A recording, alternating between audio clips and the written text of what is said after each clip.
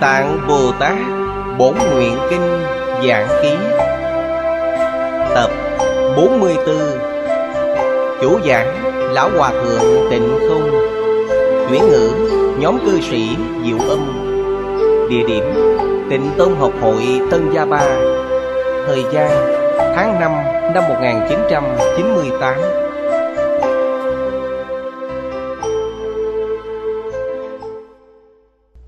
Xin xem Kinh bản. Khoa chú quyển hạ, Trang 51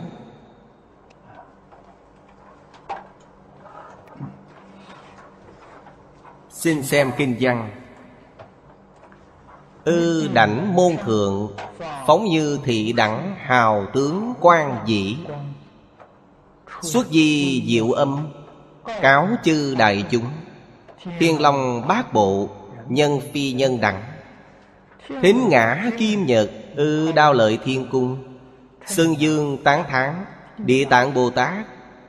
Ư nhân thiên trung, lợi ích, đẳng sự.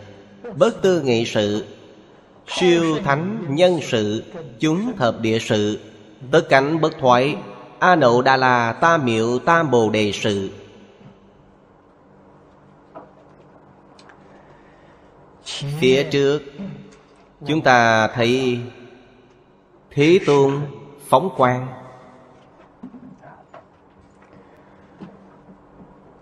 Thủy tướng phóng quang Trước khi nói câu tổng kết. Kế tiếp, Đức Phật nói với mọi người, Ngài dùng âm di diệu Hàm ý trong âm di diệu, Rộng sâu vô hạn.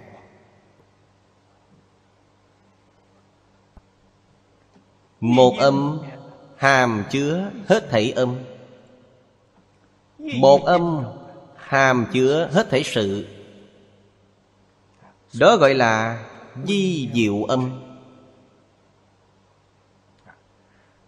Nói với đại chúng ở trong hội Bao gồm thiên long bát bộ, Nhân và phi nhân. Đây đều là những đại chúng Được Địa Tạng Bồ Tát giáo hóa.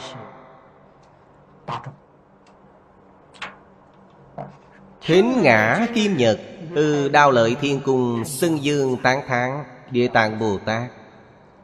Câu này là lời tổng kết Từ lúc Pháp hội khai mạc đến lúc bấy giờ. Toàn bộ kinh văn đều xưng dương tán thán. Địa tạng Bồ Tát. Mấy câu sau này là tổng kết. Ừ, nhân thiên trung lợi ích đẳng sự. Sau đó nói rất cụ thể. Tóm tắt toàn bộ kinh. Câu này là nhằm kết danh Mà cũng là nói tới giáo. Chúng ta dùng bốn thứ giáo lý hành quả để nói. Thì câu này nói về giáo.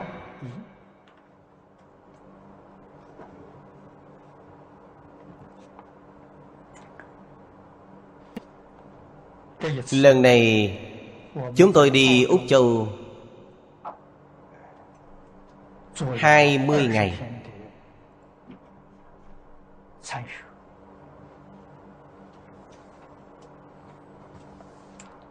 Quán sát. Sự khuếch trương văn hóa đa nguyên. Dần dần cũng đã có thành quả. Chúng ta quay lại nhìn nền giáo học Của nhà Phật. Đích thực là tài liệu dạy học. Cho những người theo đuổi công việc đa nguyên văn hóa.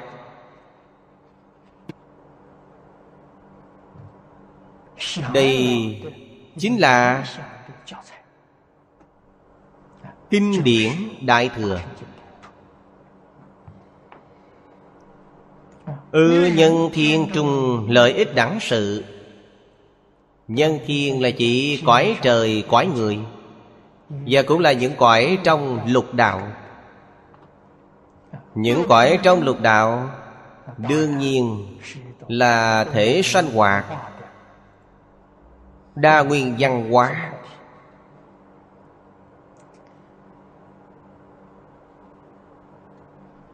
Địa Tạng Bồ Tát Thích Ca Thế Tôn.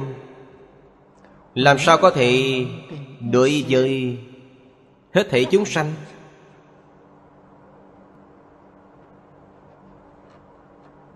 Chủng loại khác nhau. Tộc quần khác nhau. Phương thức sinh hoạt khác nhau. Thậm chí, Đối với tư tưởng kiến giải cũng khác nhau. Tín ngưỡng khác nhau. Có thể giúp họ.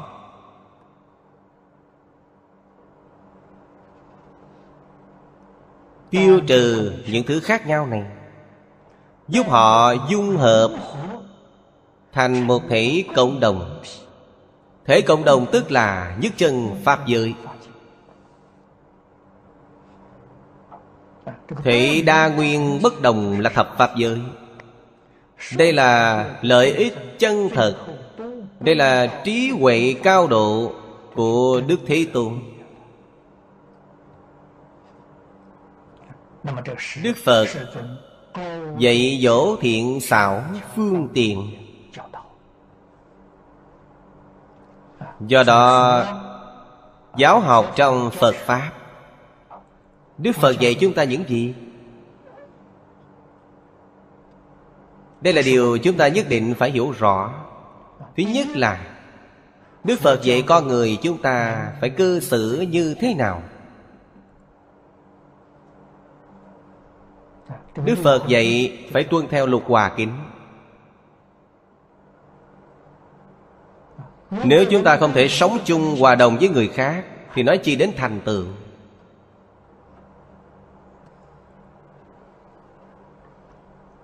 Quan hệ giữa người với người vô cùng phức tạp. Nói thật ra, Mỗi người, Mỗi chúng sanh Đều là một hình thể đa nguyên văn hóa.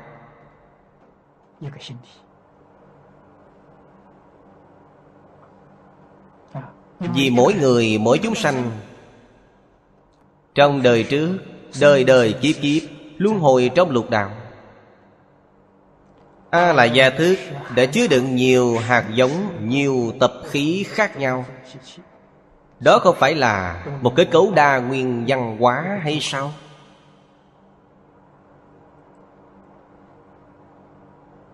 Huống chi lúc mọi người tiếp xúc với nhau, Thì phải đối xử với nhau như thế nào? Đây là cả một sự học vấn. Có thể dẹp hết sự kỳ thị Hiểu lầm Ngăn cách. Có thể tôn kính.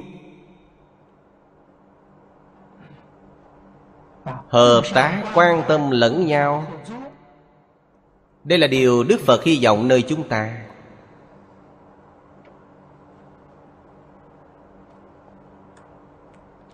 Đặc biệt là tu học Đại Thừa. Trong kinh thường dạy chúng ta Tâm bao thái hư, lượng châu xa giới. Trong hết thể cảnh giới của chúng sanh, Vẫn còn và ranh giới như vậy Là sai rồi. Trái nghịch với lời dạy của Đức Phật, Trái nghịch với lời dạy của Bồ Tát.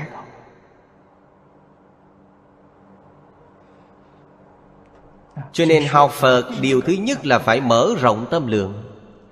Phải bao dung hết thảy.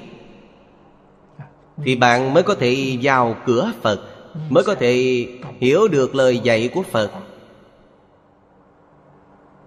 Mới thật sự được lợi ích chân thật.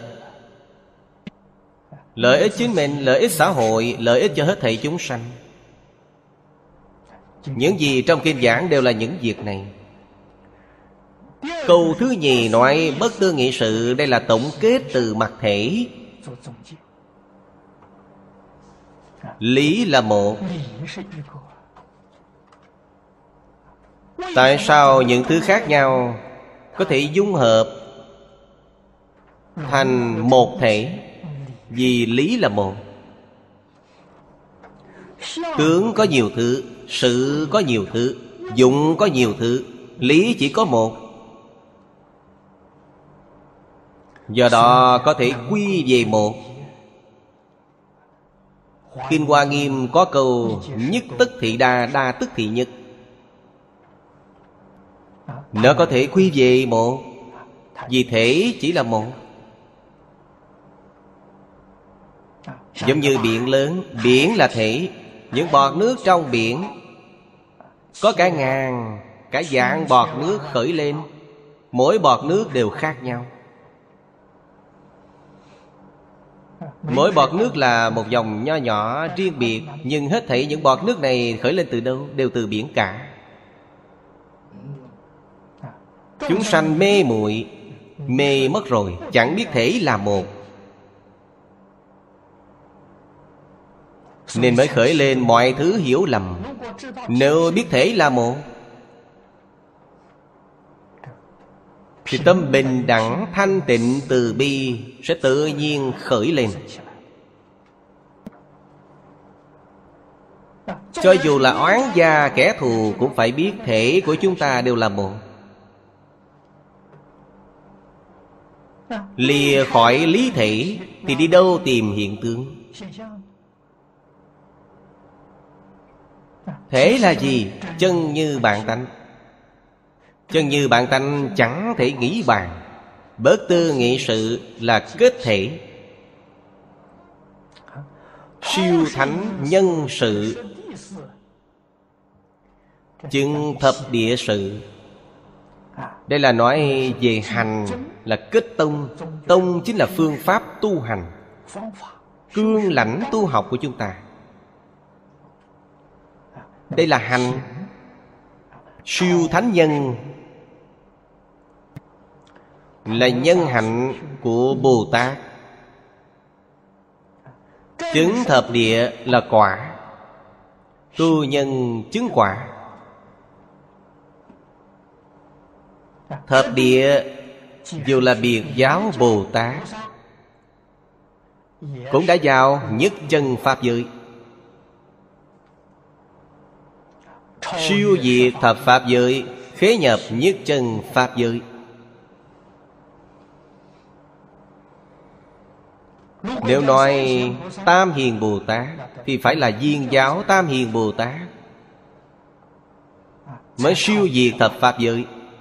Nếu là biệt giáo Tam Hiền Bồ Tát, Thì vẫn còn trong thập Pháp giới. Nói thập địa thì nhất định đã siêu diệt thập Pháp giới. Nhập nhất chân Pháp giới.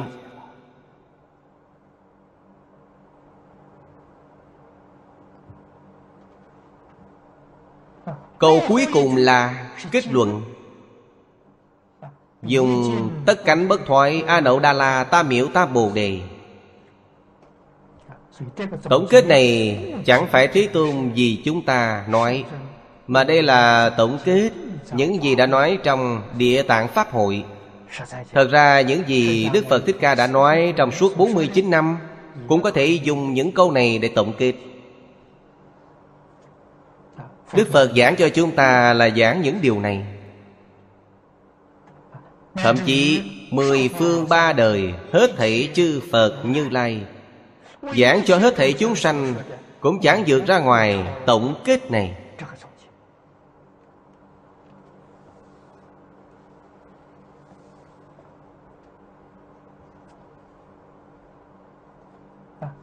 Hiểu ý nghĩa của những câu này thì chúng ta sẽ hiểu đức phật dạy chúng ta, dạy chúng ta làm người phải biết.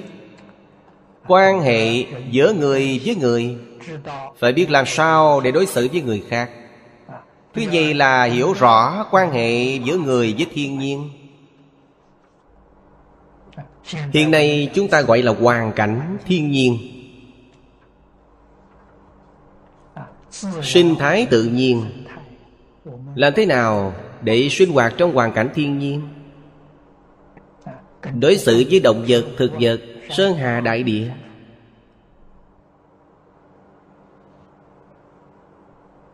Hoàn cảnh thiên nhiên chăm sóc cho chúng ta Chúng ta cũng phải yêu mến bảo vệ thiên nhiên. Hoàn cảnh thiên nhiên cống hiến cho chúng ta Quần áo, thức ăn, chỗ ở Mọi việc trong cuộc sống Chúng ta đều phải nhờ vào hoàn cảnh tự nhiên Thì mới có thể sinh tồn được. Chúng ta làm sao báo đáp hoàn cảnh tự nhiên? Có ai đã nghĩ đến vấn đề này chưa? Đức Phật đã nghĩ tới Bồ Tát đã nghĩ tới. Thứ ba là Con người ứng xử như thế nào đối với quỷ thần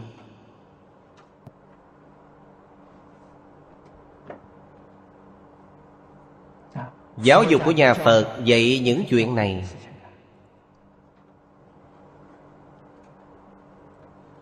Trong ba thứ này, nếu có một thứ nào sai trái Thì sẽ đem đến phiền phức. Trong Phật Pháp, gọi là tạo nghiệp. Nếu cả ba thứ đều hoàn hảo, Thì chúng ta sẽ có công đức, Tích lũy công đức. Nếu một thứ nào làm không tốt Thì sẽ tạo nghiệp.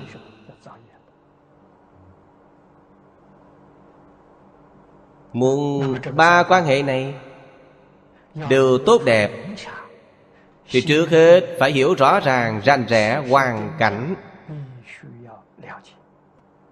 Chân tướng sự thật. Đức phật giảng kinh thuyết pháp cho chúng ta chính là giảng rõ những chân tướng sự thật này.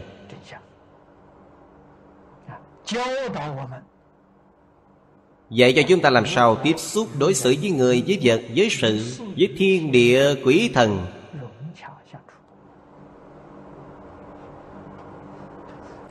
Đây cũng là mục tiêu con người hiện nay theo đuổi văn hóa đa nguyên.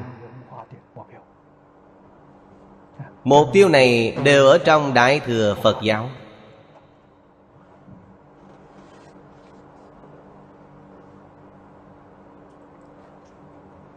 Hy vọng mọi người hãy lắng lòng thể hội kinh điển Đại Thừa. Tại sao chúng ta không thể hiểu được? Vì chẳng thiết thực thực hành. Trong đời sống hàng ngày vẫn tùy thuận phiền não tập khí. Như vậy thì làm sao được? Đừng nói bạn coi kinh không hiểu. Bạn coi chú giải cũng không hiểu. Tôi nói những thứ này bạn nghe cũng không hiểu. Những gì bạn có thể hiểu được chỉ là ở bên ngoài, chỉ là ở ngoài da chứ chẳng thấm thía gì tới bên trong của bạn.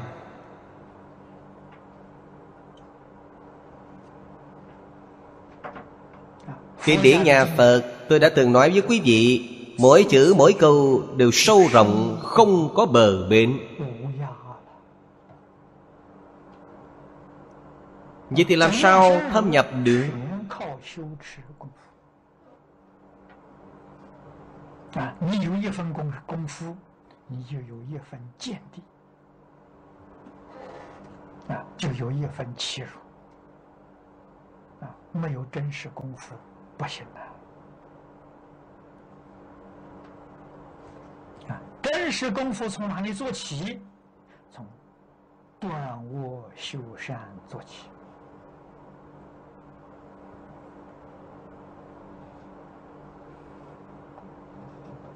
Siêu thánh nhân sự Chứng thập địa sự Là nói chúng ta phải làm được. Bớt tư nghị sự Là chúng ta phải thấu hiểu. Nhân thiên lợi ích đẳng sự Là những gì chúng ta phải học tập. Được vậy thì bạn mới đạt đến Đại dụng cứu cánh viên mạng Vậy thì mới đạt đến bất thoái vô thượng bồ đề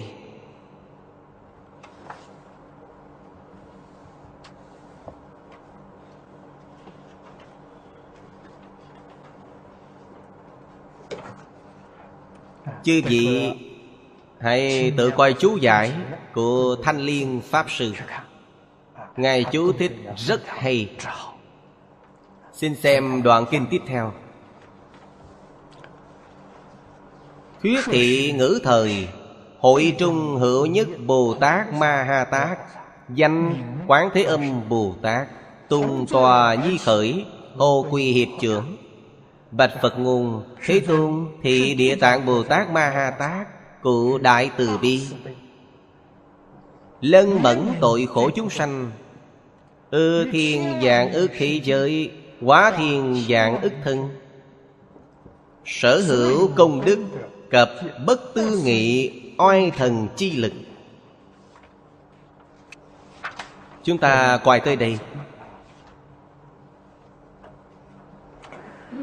Đây là đoạn nói gì? Quán Thế Âm Bồ Tát.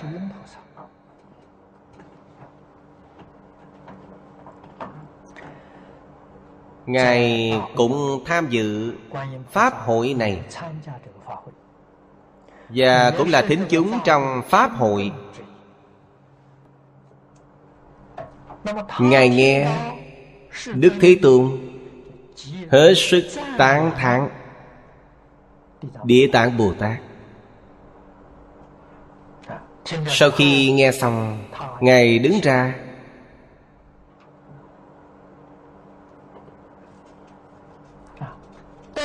Thay mặt các Bồ Tát, Khen ngợi Địa Tạng Bồ Tát.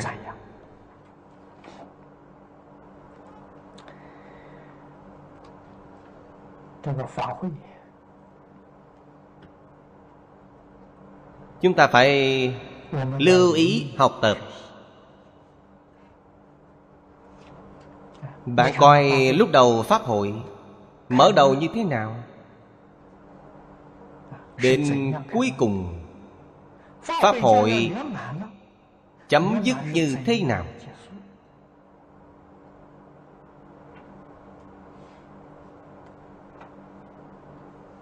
Đây là điều chúng ta phải học tập. Pháp hội trong thế gian Thì nhất định sẽ bắt đầu bằng. Diễn văn khai mạc Và lúc kết thúc Cũng có một bài cảm tạ.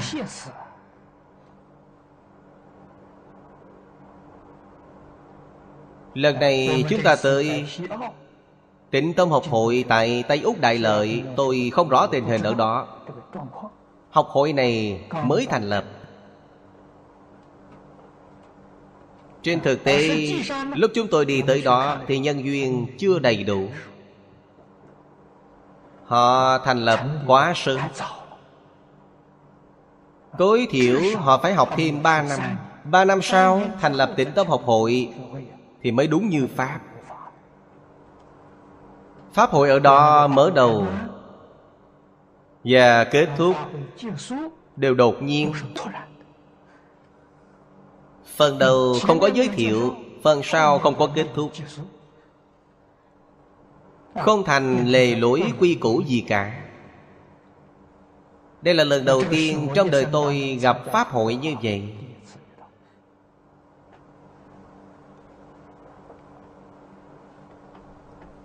Họ chẳng có kinh nghiệm.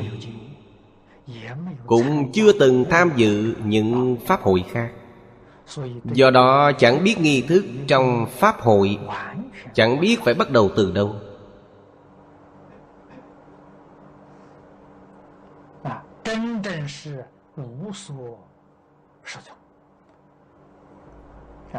Họ tiếp đãi chúng tôi rất nhiệt tình, Chúng tôi rất cảm tạ. Hội trưởng của họ tiễn tôi ra phi trường. Ông ta hỏi, tiếp đón chắc không được, chu đáo lắm. Tôi nói, tiếp đón rất chu đáo, Chúng tôi rất cảm tạ, Nhưng Pháp hội không chu đáo. Nên họ hỏi thêm, Ông nói sẽ kiếm một ngày để tới Tân Gia Ba học tập. Tôi nói, không được, Một ngày liền học xong Thì ông phải là thiên tài mới học nổi.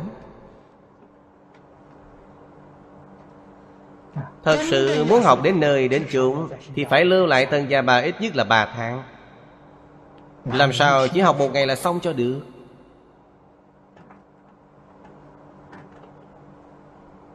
Nếu là người lãnh đạo một đoàn thể Giúp đỡ mọi người trong một địa phương học Phật Đó là Bồ Tát phát tâm Chẳng thể làm qua loa sơ sài.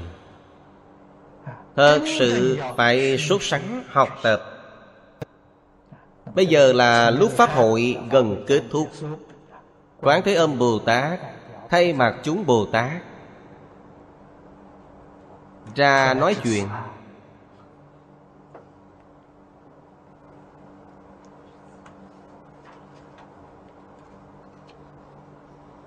Mọi người đều rất quen thuộc với Quán Thế Âm Bồ Tát.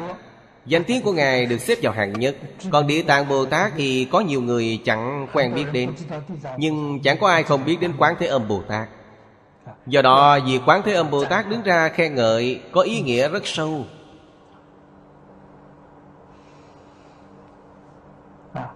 Bồ Tát, Bạch Phật, Và nói, Thế Tôn, Địa Tạng Bồ Tát Ma Ha Tát có đầy đủ đại từ bi. Lời này Do Quán Thế Âm Bồ Tát nói ra. Có ai không tin cho được? Chúng ta đều biết Quán Thế Âm Bồ Tát đại từ đại bi. Quán Thế Âm Bồ Tát tán thán Địa Tạng Bồ Tát là đại từ bi.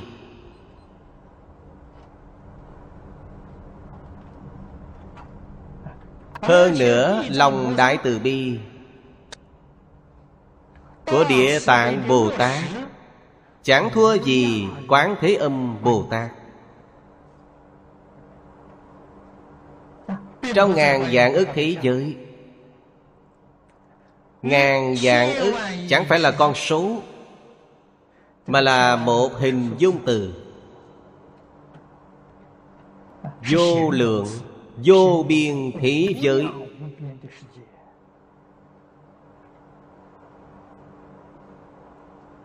Nơi nào có chúng sanh, Thì nơi đó có mặt địa tạng Bồ Tát.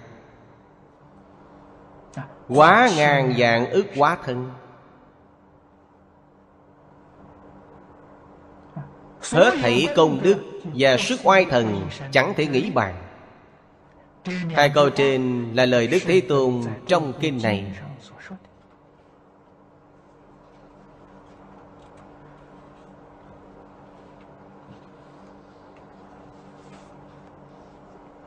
Chúng ta phải có khả năng Phân biệt Cái gì là công đức, Cái gì là phước đức. Đoạn ác tu thiện, Y giáo phụng hành. Quý vị coi Đó là phước đức hay công đức?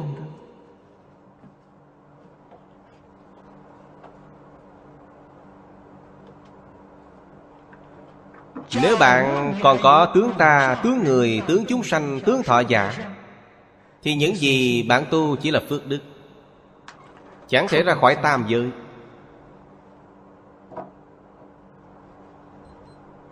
Nếu bạn xa lìa hết bốn tướng kể trên Thì đó là công đức.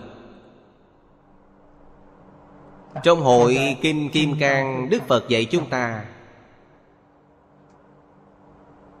Phải dùng Chẳng có tướng ta, chẳng có tướng người Chẳng có tướng chúng sanh, tướng thọ giả Mà tu những việc thiện Thì đó là công đức.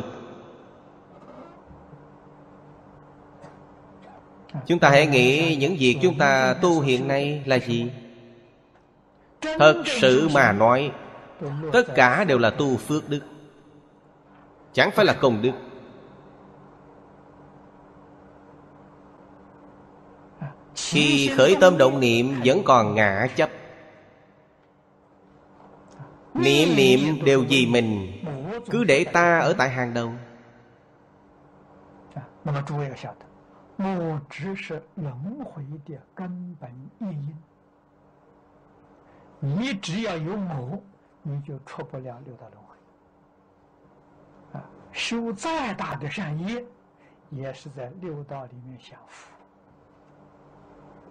啊，福享尽了，还要堕落。要懂这个道理。啊，这个是。前面都跟诸位讲的很清楚了。啊，六道十八界怎么来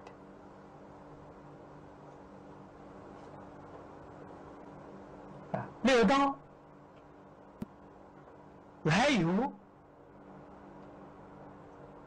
有三个基本的因素啊，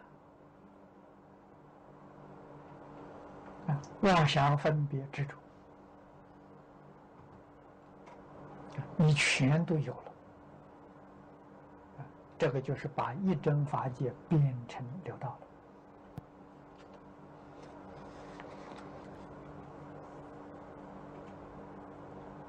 如果你把执着破掉，啊，你还有妄想分别，那么你六道没有了，有十法界。啊，十法界里的四圣法界，声闻缘觉菩萨佛，你在这个里面生活。啊，那么再能够把分别也舍掉了，你就超越十法界了，在入一真法界了。一真法界里面，我们在华严经上看到，还有四十一个阶级，四十一位发生大事。那四十一个阶级从哪里来的呢？怎么形成的呢？妄想，妄想就是无明啊！破一片无明，你的境界会提升一层。四十一品无明破尽，这妄想完全没有了，你是证得了大圆满啊！那是原教如来的果地。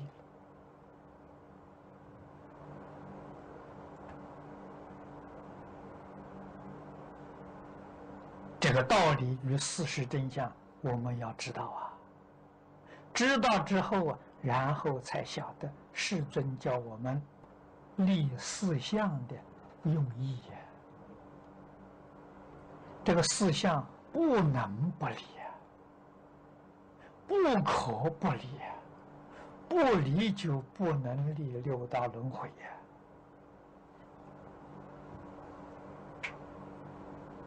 啊，我们今天起心动念，对这个喜欢，对那个讨厌，都是干六道轮回。天天念阿弥陀佛，还是搞六道轮回。你以为你能往生啊？啊，不能往生啊！能往生的人的时候，这思想真理了，心地真正清净了，心净则佛土净啊。那么很多待业往生的人，啊，临终一念、生念往生的人，他那一念、生念与四相相应，最后临终的一念，还是由我人众生受者，就不能往生。啊，所以以前里边老常讲啊，一万个念佛人呢。能够往生的是两三个而已啊，什么原因呢？五人众生受者未断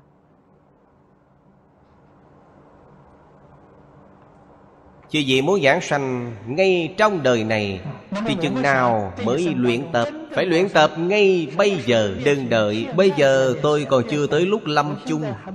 Đợi tới lúc lâm chung thì tôi mới xa lìa. Lúc lâm chung bạn có nắm chắc không? Bạn có thể xa lìa không? Lúc thường ngày chúng ta phải luyện tập thật sự. Đối với cảm tình thế gian Chúng ta nói tình cảm phải lợt lạc. Càng lợt lạc thì càng tốt.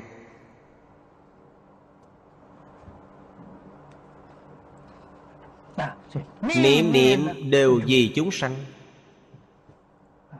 Vì xã hội đừng nghĩ cho mình. Nghĩ cho mình thì là tạo nghiệp, Tạo tội.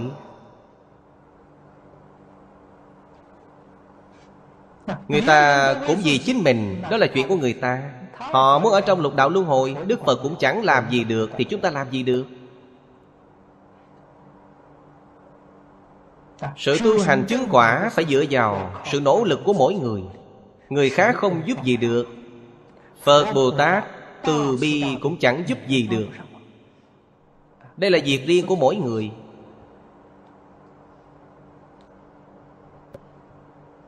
Mười Pháp giới, Mười con đường bày trước mặt, Chúng ta chọn con đường nào?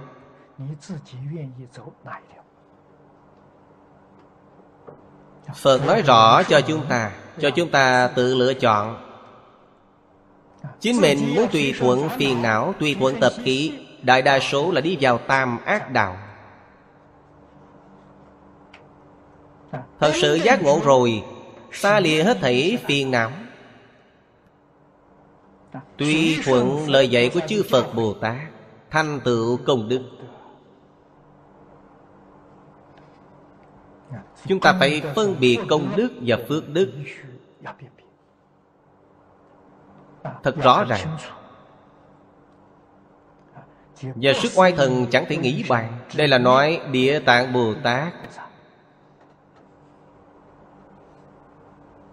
Đặc biệt trong lục đạo Ngài cần mẫn, dạy dỗ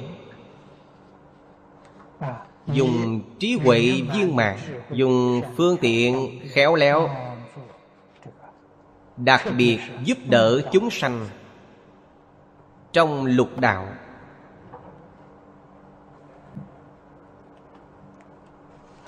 Xin xem tiếp kinh văn Ngã văn Thế tương. Giữ thập phương, vô lượng chư Phật dị khẩu đồng âm tán thán địa tạng Bồ Tát dân. Chánh sự quá khứ hiện tại vị lai chư Phật, Thuyết kỳ công đức do bất năng tận. Chúng ta biết được chân tướng sự thật này Từ Quán Thế Âm Bồ Tát. Chẳng phải chỉ có một mình Đức Phật Thích Ca Mâu Ni Tán thán Địa Tạng Bồ Tát. Mười phương chư Phật cùng thốt ra lời khen ngợi, Chẳng ai không tán thán Địa Tạng Bồ Tát.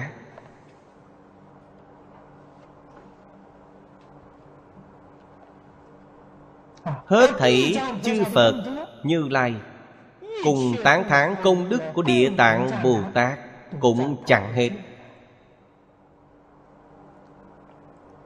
Phía sau nói, Dù chư Phật quá khứ, hiện tại, vị lai, Tức là chư Phật mười phương ba đời, Nói về công đức của Địa Tạng Bồ Tát, Cũng nói không hết.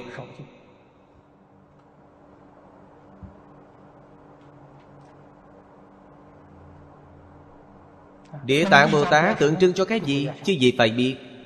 Địa Tạng Bồ Tát tượng trưng cho hiếu dưỡng cha mẹ, Tôn kính sư trưởng. Công đức của Địa Tạng Bồ Tát Tức là công đức hiếu thân tôn sư.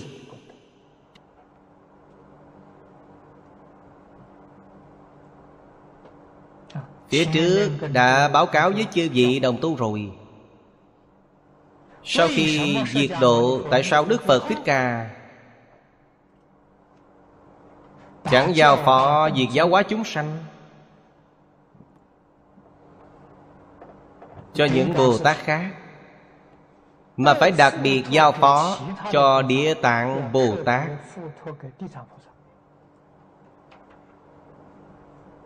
Tại sao không giao phó cho Quán Thế Âm Bồ Tát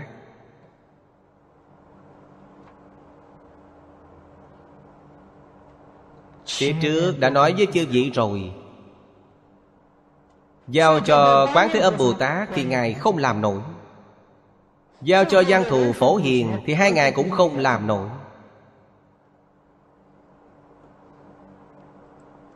Giao phó cho Địa Tạng Bồ Tát. Địa Tạng Bồ Tát tượng trưng cho hiếu kính. Hiếu kính là cội rễ. Quán Thế Âm Bồ Tát là hiếu kính phát triển rộng ra. Nếu chẳng có cội rễ thì làm sao phát triển rộng ra? Do đó chúng ta nhất định phải hiểu được đạo lý này. Từ đó, bạn mới biết Chúng ta học Phật phải học từ chỗ nào, Phải học từ hiếu dưỡng cha mẹ, Tôn kính sư trưởng. Ngày nay, xã hội động loạn, Nguyên do của sự động loạn này là chỗ nào? Ở chỗ mê mất địa tạng. Chẳng biết hiếu thân tôn sư.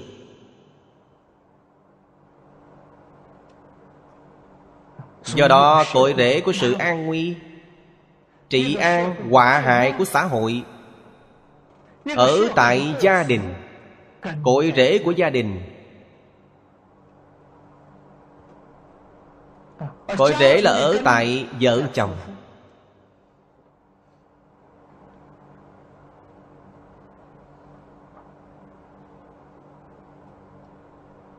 Giáo học thế gian và xuất thế gian Đều biết đạo lý này. Đều tốn rất nhiều tâm huyết Để giáo huấn dung bồi cội rễ này. Hy vọng mọi người Sẽ giác ngộ. Hai người kết hợp thành vợ chồng Chẳng phải là chuyện của hai người. Mà đối với xã hội Cả hai đều có trách nhiệm Hai vợ chồng chẳng hòa hợp Thì gia đình sẽ rạn nứt. Gia đình đổ vỡ thì xã hội sẽ động loạn.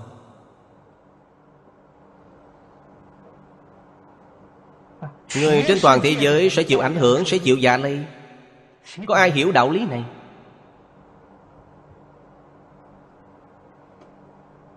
Quý vị xem giáo dục của nhà Phật Rất quan trọng, giáo dục gia đình, Giáo dục nhà nho vậy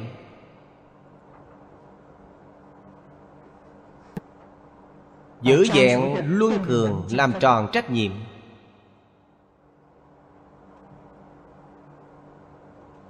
Ngày nay xã hội động loạn Mọi người đều sơ ý giáo dục gia đình.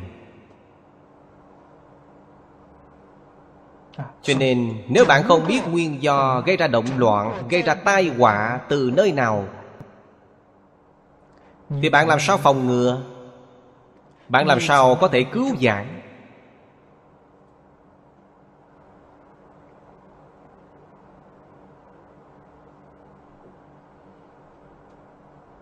Người trong một nhà Tụ hội với nhau Đương nhiên đều có nguyên nhân.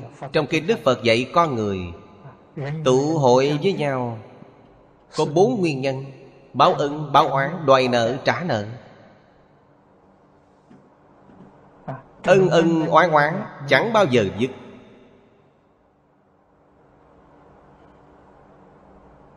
Đây là chân tướng sự thật Tại sao con người lại phải tiếp nhận giáo dục? Tại sao lại phải tiếp nhận giáo huấn của Thánh Hiền? Vì Thánh Hiền hiểu rõ chân tướng sự thật.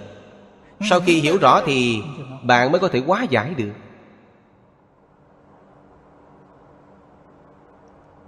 Dù người trong một gia đình Đều gì báo oán mà hợp lại. Tấm gương sáng ở Trung Quốc Là vua Thuấn.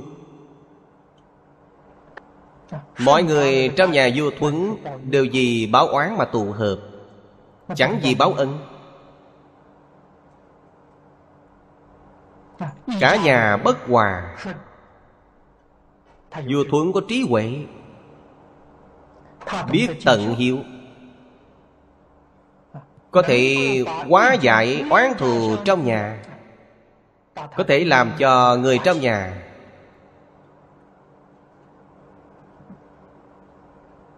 tôn trọng lẫn nhau, tương thân, tương ái, hợp tác lẫn nhau. Nói theo phật pháp thì đây là bồ tát.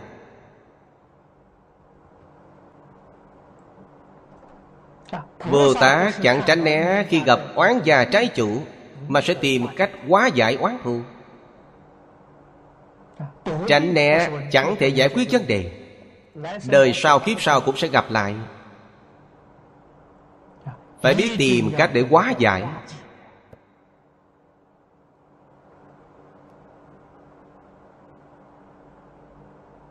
Do đó, oan gia nên dạy chứ nên kết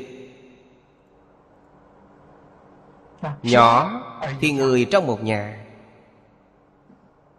Phải có trí huệ, Phải nhẫn nại, Tìm cách hóa giải.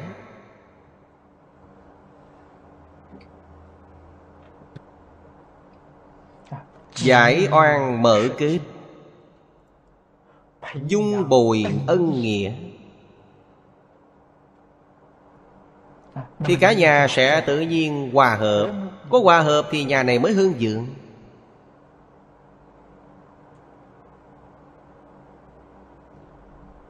Việc này có đạo lý của nó. Đây là khái niệm căn bản Quá trình cơ sở trong sự giáo hóa chúng sanh của Địa Tạng Bồ Tát.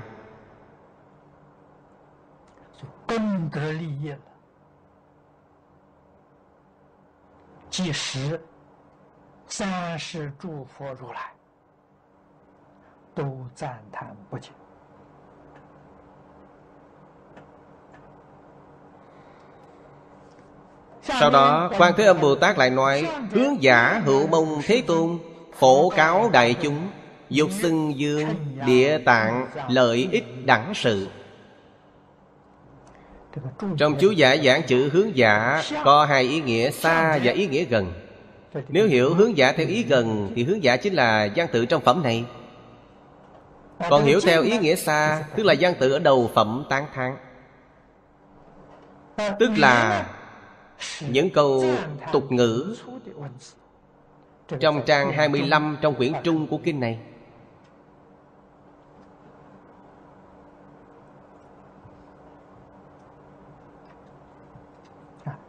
Duy nguyện Thế Tôn Vị hiện tại vị lai nhất thiết chúng sanh, Sơn dương địa tạng, bất tư nghị sự, Lệnh thiên long bát bộ, Chim lễ hoành phước.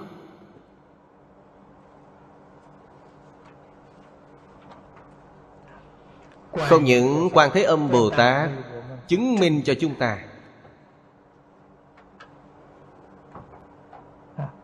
Lại khải thỉnh cho chúng ta. Lời khải thỉnh của Ngài. Vì hết thảy chúng sanh hiện tại và vị lai. Hiện tại là những vị tham gia Pháp hội lúc bấy giờ. Vị lai là bao gồm chúng ta. Ngày nay chúng ta đọc tới kinh này. Nghiên cứu đoạn kinh này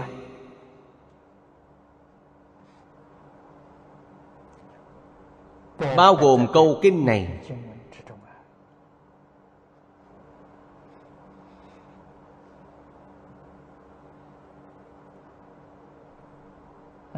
Thỉnh thế tôn giới thiệu thêm lần nữa những sự chẳng thể nghĩ bàn của địa tạng bồ tát. Mục đích là làm cho những vị quỷ thần hộ pháp thiên long bát bộ chim lễ được phước. Ở đây chim lễ là gì? Là khởi tâm hiếu kính. Sanh tâm này liền được phước.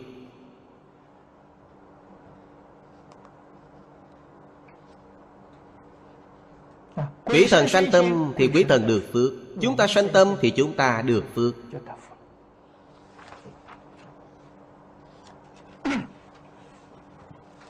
Phần sau là Thế Tôn tiếp nhận lời thỉnh cầu của quan thế âm bồ tát, nói pháp cho chúng sanh. Phật cáo quán thế âm bồ tát, nhữ ư sa bà thế giới, hữu đại nhân duyên. Quý vị xem xem. Thế Tôn nhân dịp này Trước hết tán thán Quán Thế Âm Bồ Tát Quan Âm Bồ Tát Có duyên rất sâu với thế giới của chúng ta. Phật chẳng độ người vô duyên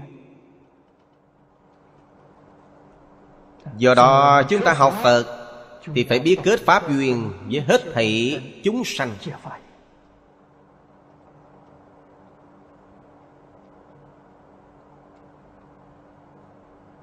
Chúng ta phải hiểu rõ ý này, kết pháp duyên, chứ không thể kết tình duyên. Kết tình duyên một đời thì phiền phức rất lớn. Đời đời kiếp kiếp, dây dưa chẳng dứt. Sẽ phải tạo vô lượng, vô biên tội nghiệp, Phải chịu khổ báo dài lâu. Do đó nhất định đừng kết tình duyên, Chỉ kết pháp duyên mà thôi. Pháp duyên là Giới thiệu Phật Pháp cho họ,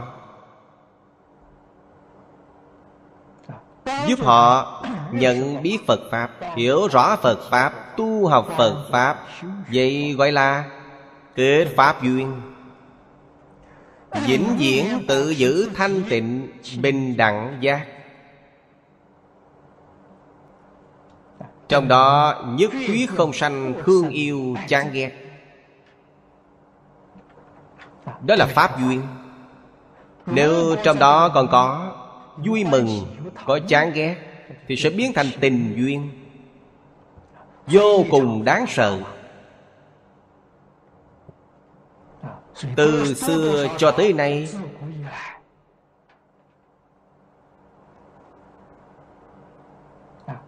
bao nhiêu vị đại đức tại gia xuất gia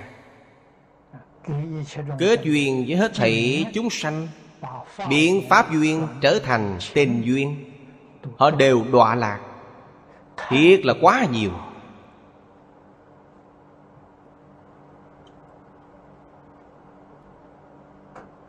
Do đó Bồ Tát Đại Thừa, Nếu không có định huệ tương đối, Thì ngược lại chẳng bằng Tiểu Thừa.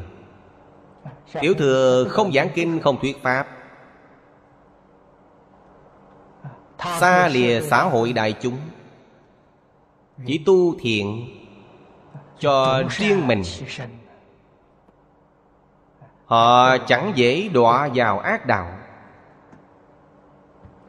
Đại Thừa Bồ Tát Tiếp xúc với đại chúng Như câu hòa quan đồng trần. Nếu chính mình không có định huệ Tự mình không thể an trú trong niệm Phật ta muội. Dân tùy thuận phiền não, Tập khí, Chẳng có ai không đọa lạc. Giảng kinh thuyết pháp hay tu hết thảy thiện nghiệp Đều biến thành phước báo hữu lậu.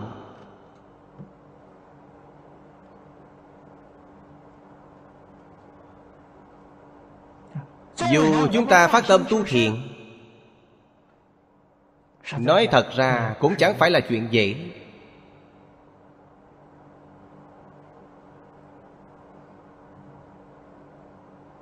Cái thiện đó có phải là chân thiện hay không? Nếu chưa gì có đọc Liễu Phàm Tư Quân Ông Viên Liễu Phàm nói rất hay, Thiện có chân thiện, Có giả thiện có đại thiện, có tiểu thiện. Có thiên thiện, có duyên thiện. Ngài nói rất nhiều. Bạn biết đâu là lời thật không? Hiện nay chúng ta thấy thế gian Có không ít người Thật tâm muốn làm việc tốt. Nhưng vì Không có huệ nhãn Không nhận biết ruộng phước thật sự. Trái lại Họ dùng tài lực, vật lực của họ Để tạo tội nghiệp. Cho dù không có cố ý Tâm họ cũng muốn tu thiện Kết quả lại trở thành ác.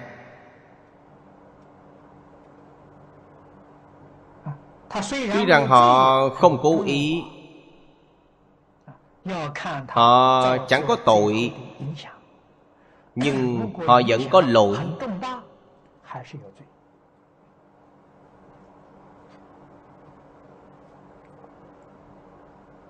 Chúng ta không thể không cẩn thận. Làm sao có thể phân biệt, có thể nhận ra? Phương pháp duy nhất là độc tụng đại thừa. Được vậy thì chúng ta mới có thể hiểu rõ hết thảy sự vật.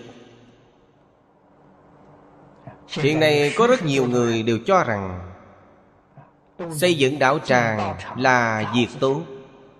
Địa tạng Bồ Tát trong kinh này cũng dạy chúng ta xây dựng đạo tràng.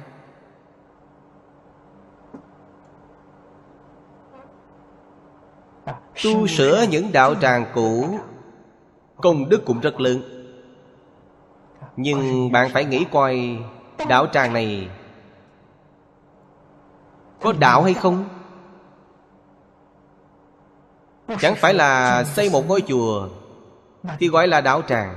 Chùa đó có đạo hay không? Nếu không có đạo, Bạn xây dựng chỗ đó Làm cho rất nhiều người ở đó. Tranh giành với nhau, Làm cho họ tạo tội nghiệp. Bạn có lỗi hay không?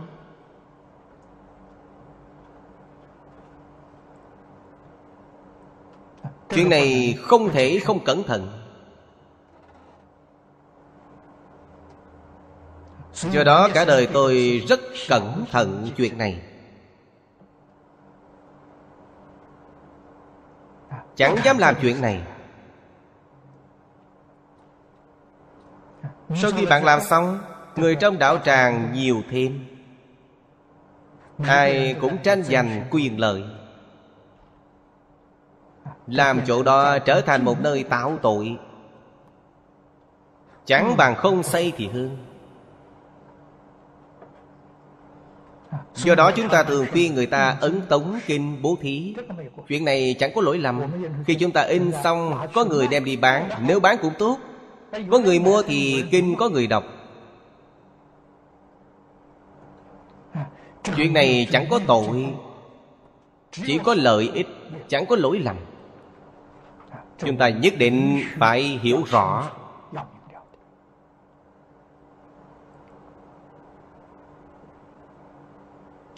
Nói thật ra, những chuyện này, Chỉ cần chúng ta lưu ý một chút Thì sẽ có thể thấy rõ ràng. Tự mình phải thường phản tỉnh, Những gì chúng ta tạo tác là công đức hay là tội lỗi? Trong Phật Pháp gọi là Đúng như Pháp hay không như Pháp? Đây là chuyện chúng ta quan trọng, Tuyệt đối không thể dùng cảm tình để làm việc.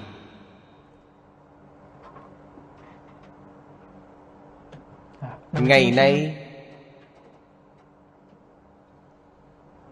Chúng ta ở đảo tràng này Của cư sĩ Lâm Tân Gia Ba.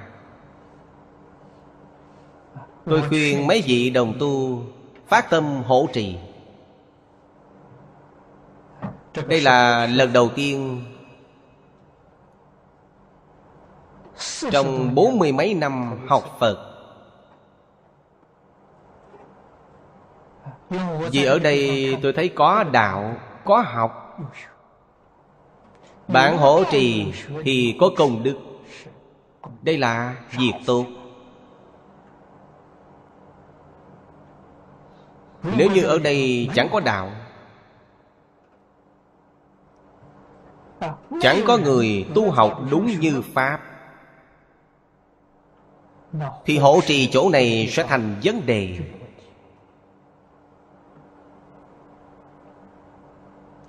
Do đó chúng ta phải bình tĩnh mà quan sát. Những gì họ nghĩ Họ nói Họ làm Có tương ứng với những lời Đức Phật dạy trong kinh điển hay không? Kinh điển là tiêu chuẩn.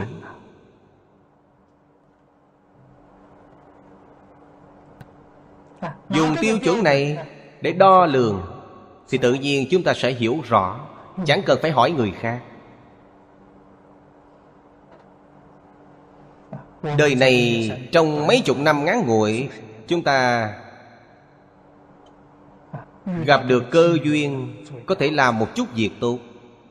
Việc này rất có ý nghĩa, rất có giá trị.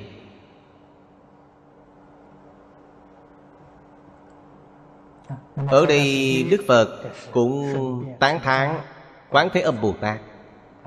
Ngài có nhân duyên lớn Đối với thế giới ta bà, Giống như địa tạng Bồ Tát vậy.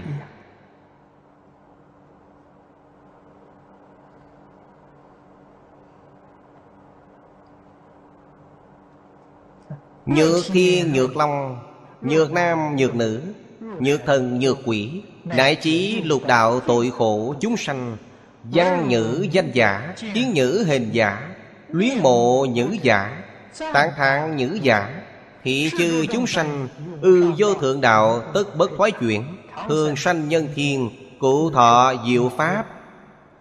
Nhân duyên tương thuộc Ngộ Phật thọ kỵ.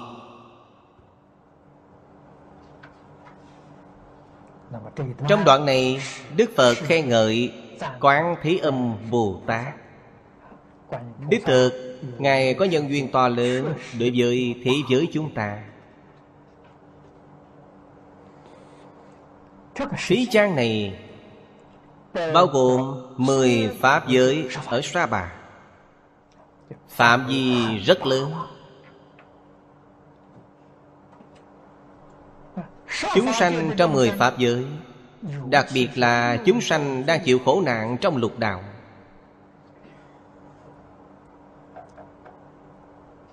Trong Kinh Vô Lượng Thọ Đức Phật dạy chúng ta Lúc chúng ta gặp phải Tai nạn to lớn, Thì phải nhất tâm xưng niệm Quán Thế Âm Bồ Tát. Lúc đó liền có thể thoát khỏi tai nạn.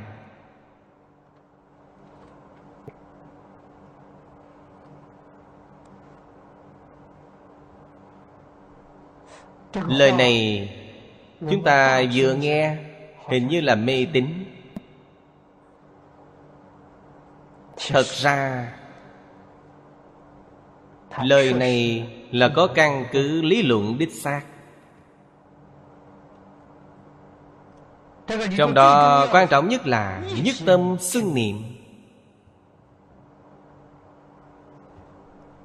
Thì mới có thể hóa giải được tai nạn.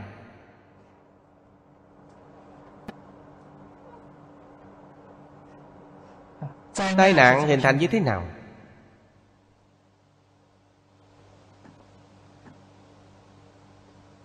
Là do làn sóng Của những thói quen ác Hiện ra. Khi bạn nhất tâm xưng niệm, Thì tâm bạn thanh tịnh bình đẳng. Làn sóng phát ra từ tâm bạn sẽ hòa lẫn với làn sóng lên xuống bất thường.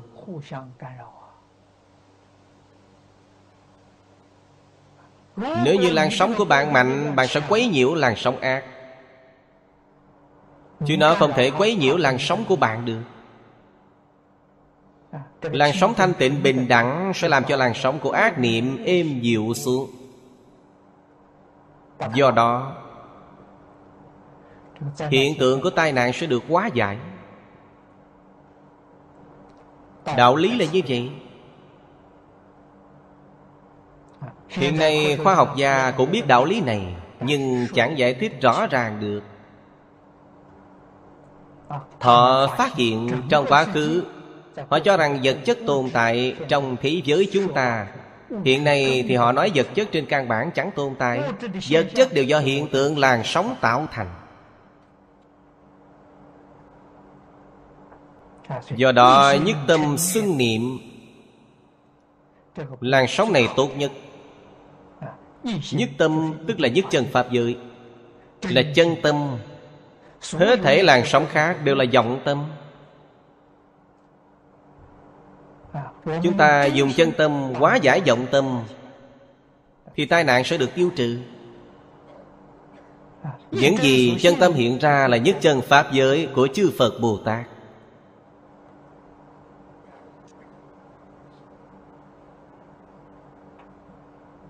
Ở đó rất yên định, rất hòa bình. Cá tường an vui.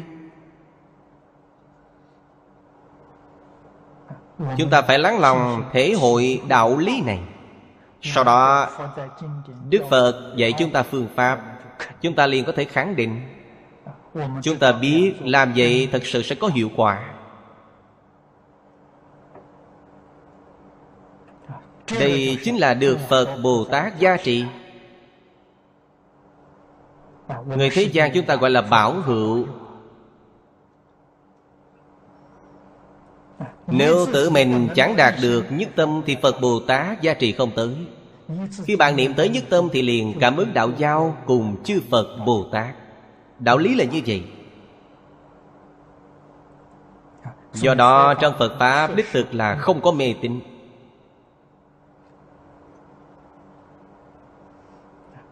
Nơi đây nói, Nghe danh hiệu, Nhìn thấy hiện tượng. Là duyên. Luyến mộ tán thán. Luyến mộ là học theo phật bồ tát. Tán thán là khen ngợi chư phật bồ tát. Nghĩa là giới thiệu chư phật bồ tát cho đại chúng chúng ta gọi là hoàng pháp lợi sanh. À, tán thán là hoàng pháp lợi sanh. Luyến mộ là y giáo phụng hành.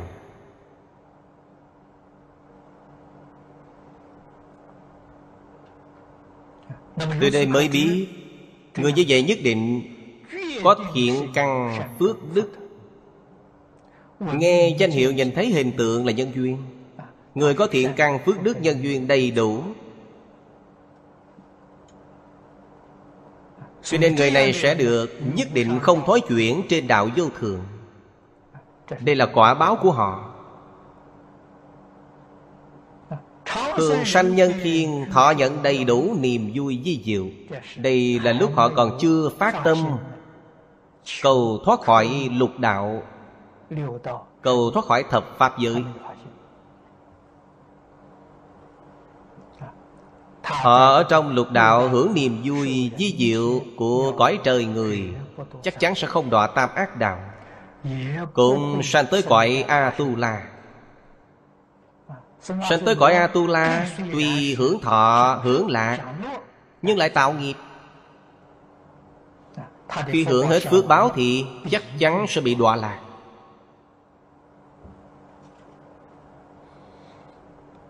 Trong cõi trời trong cõi người nhất định sẽ gặp bạn tu.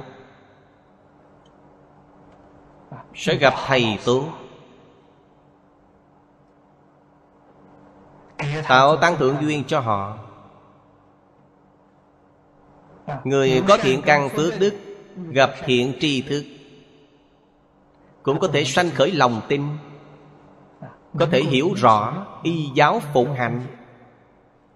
Đây là nhân duyên thù thắng. Nhân quả gần chín mùi Là lúc thật sự giác ngộ. Giác ngộ rằng Phước báo nhân thiên Chẳng thể hưởng lâu dài. Khi hưởng phước thì Không thể không tạo nghiệp.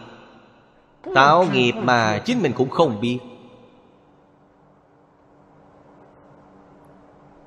Họ có thể bỏ phước báo của mình. Chuyên tu tịnh độ. Do đó, gặp Phật được thọ ký. Chúng ta phải biết Trong thời đại này, Chư Phật Như Lai đã dạy. Thời mạt Pháp Chỉ có tu tịnh độ mới thành công. Trong pháp môn tịnh độ thì quan trọng nhất là tâm thanh tịnh.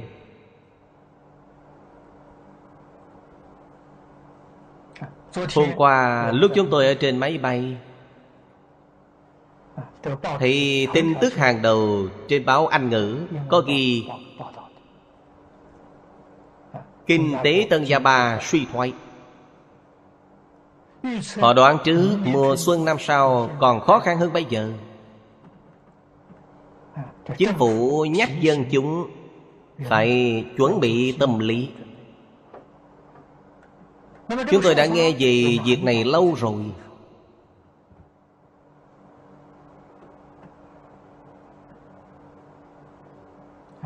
Tai nạn trong thế gian ngày càng nhiều,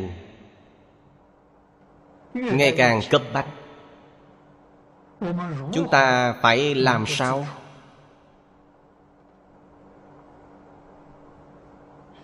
Thầy Lý đã dạy, Chỉ có một phương pháp duy nhất Là niệm Phật cầu sanh tịnh độ. Câu này là của Thầy Lý, Là lời chân thật.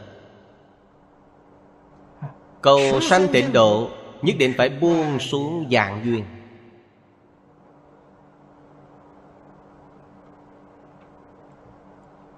Do đó, Xây dựng thôn Di Đà và niệm Phật đường Là một nhân duyên to lớn.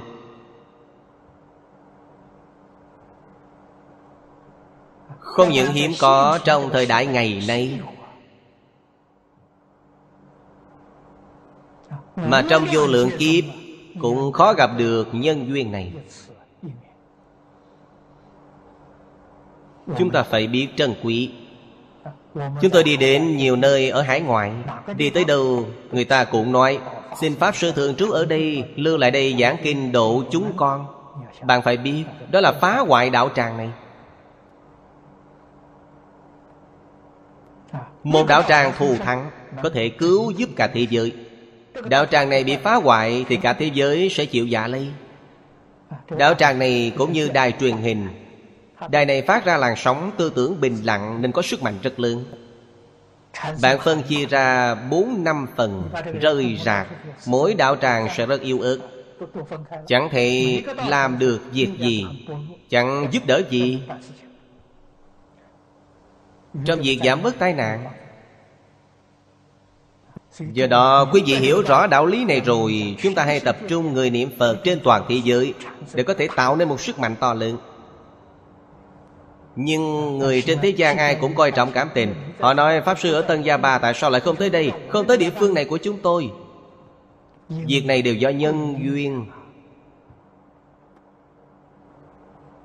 Mỗi chỗ đều có nhân duyên Chứ không phải là ưa thích địa phương nào. Làm gì có đạo lý như vậy? Địa phương nào có duyên thì sẽ xây dựng ở nơi đó. Người thế gian đều trọng cảm tình Đều vì mình. Xây ở đây tốt nhất là làm ở nhà tôi. Một phạm vi nhỏ của mình Làm ở quốc gia của mình còn chưa chịu. Hãy làm ở tỉnh của tôi, ở thành phố của tôi Tốt nhất là ở nhà tôi. Như vậy thì làm sao thoát khỏi tàm giới? Làm sao có thể thoát khỏi luân hồi? Tâm lượng như vậy quá nhỏ. Chúng ta phải hiểu đạo lý này. Chúng ta cảm thấy những người này rất nhiệt tình, rất dễ thương. Chúng tôi cũng rất cảm kích Nhưng tuyệt đối không thể nghe theo họ. Mục tiêu của chúng tôi là vì hết thể chúng sanh? Vì thế giới hòa bình, an định. Đó là mục tiêu của chúng tôi. Lớn có thể bao gồm nhỏ Nhỏ không thể bao gồm lớn.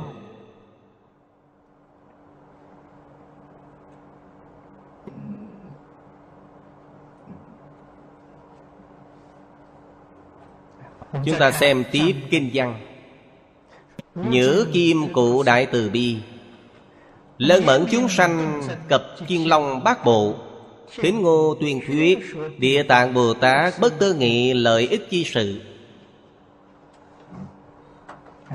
Trong phẩm này, Quán Thế Âm Bồ Tát, Đại diện chúng ta đứng ra khải thỉnh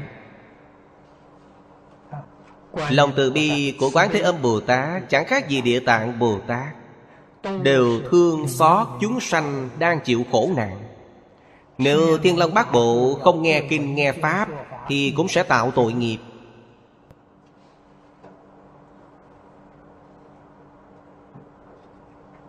Sau đó là lời dạy của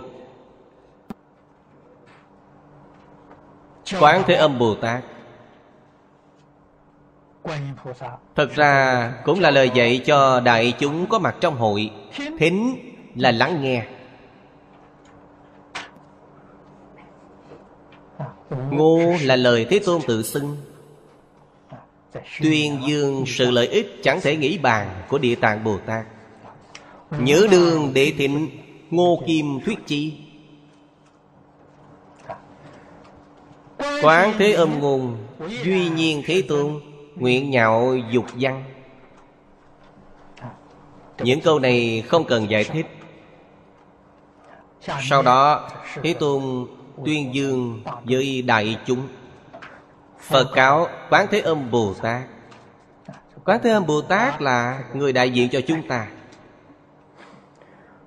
Vị lai hiện tại chư thị giới trung. Hữu thiên nhân thọ thiên phước tận. Hữu ngũ suy tướng hiện. Hoặc hữu đọa ư ác đạo chi giả. Đoạn này rất quan trọng. Chúng ta phải ghi nhớ. Đây là lời giải thích chân tướng sự thật.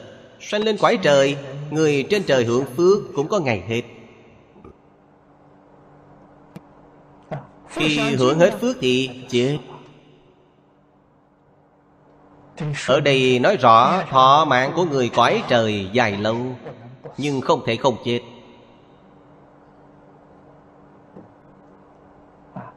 Hết thảy lục đạo đều có sanh tử. Hai thứ sanh tử này đều đầy đủ. Phân đoạn sanh tử và biến dịch sanh tử. Cho thì dù sanh tới quải trời, phi tưởng phi phi tưởng Cũng còn sanh tử. Như vậy thì không rốt ráo. Có bao nhiêu người mong sanh lên đến quải trời, Lên trời cũng không rốt ráo. Không những phước trời hưởng hết, Người trời có sanh tử, Giả lại sẽ bị đọa ác đạo.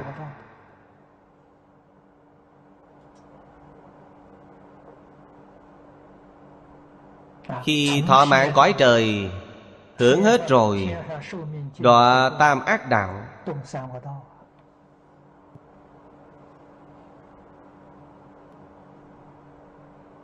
Đó là sự thật. Chúng ta không thể không biết.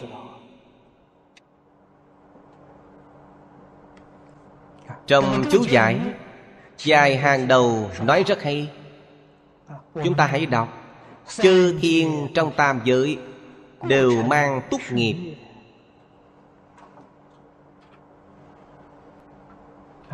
Tam giới gồm có sáu tầng trời dục giới 18 tầng trời sát giới và bốn tầng trời vô sắc giới, Tổng cộng có 28 tầng trời. Làm sao có thể sanh lên trời? Nghiệp tu đời trước khác nhau. Sanh lên trời là do tu nghiệp thiện. Trong kinh Đức Phật dạy, Điều kiện sanh lên trời là phải tu thập thiện nghiệp và tứ vô lượng tâm. Ngày nay, trong đời sống hàng ngày, chúng ta sự thế đối người, tiếp vật, Có làm tròn mười nghiệp thiện này hay không?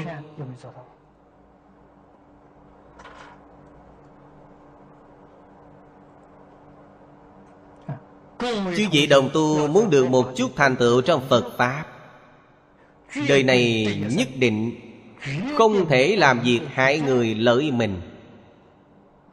Tuyệt đối không được làm việc này. Tuyệt đối không thể có tâm niệm hại người. Đương nhiên, không thể làm việc Tổn hại đến người khác.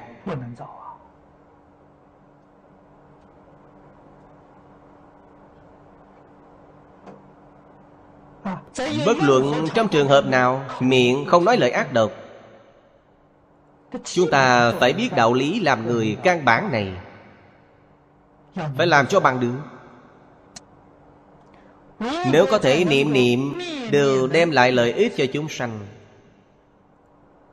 Có thể xả mình vì người, Đó là bạn tu tích phước đức.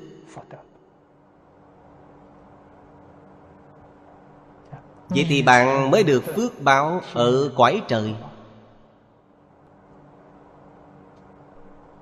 Khi khởi tâm động niệm, đều vì xã hội Đều vì nhân dân, Vì hết thể chúng sanh. Thì tiền đồ của bạn sẽ tươi sáng. Cho dù không biết giảng sanh tịnh độ, Cũng chắc chắn sẽ sanh lên trời. Hưởng phước trời.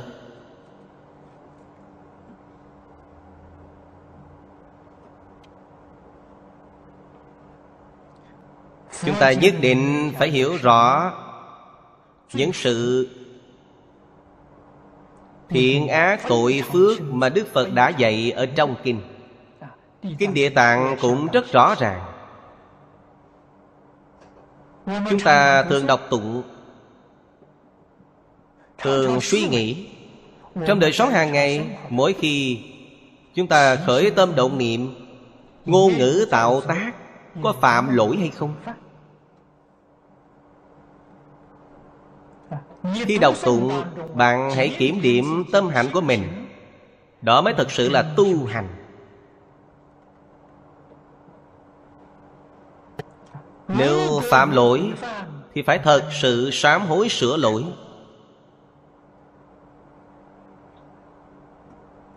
Tuyệt đối không được chất chứa, Không thể che đậy Che đậy thì tội ấy sẽ nặng thêm.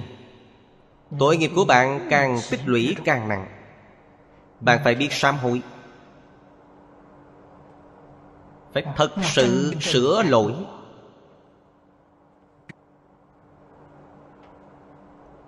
Tuyệt đối đừng lợi dụng người ta.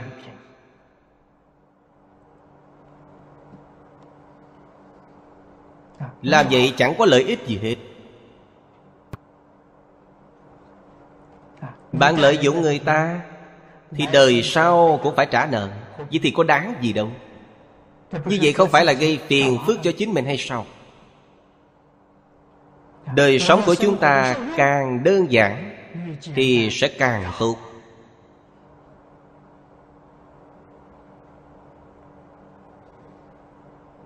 Lần này, chúng tôi đi tham quan một đạo tràng Thuộc phái Tiểu Thừa ở Bách Tư Sâm. Tham quan xong, chúng tôi rất cảm động.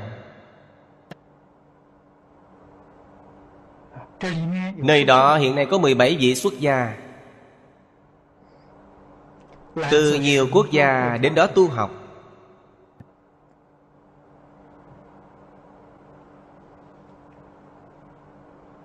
Họ được tín đồ cúng dường. Đó là một miếng đất. Khoảng 9.600 acre. Toàn là rừng núi. Họ xây dựng đạo tràng tại đó Phòng ốc đều do chính họ thiết kế. Họ tự xây cất chứ không có mướn nhân công. Xây cũng rất khá. Họ có một Phật đường.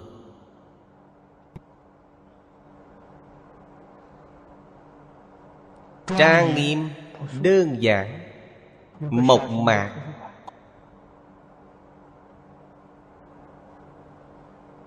Có một thư viện nho nhỏ, Có phòng tắm. Phòng tắm rất lớn, chia ra nhiều gian. Phòng nghỉ ngơi của họ có được 20 gian nhà. Mỗi gian cách nhau chừng 5 phút đi bộ. Gian phòng nghỉ ngơi này rất nhỏ Mỗi người một gian nhỏ. Tôi nhắm chừng khoảng 4 mét vuông.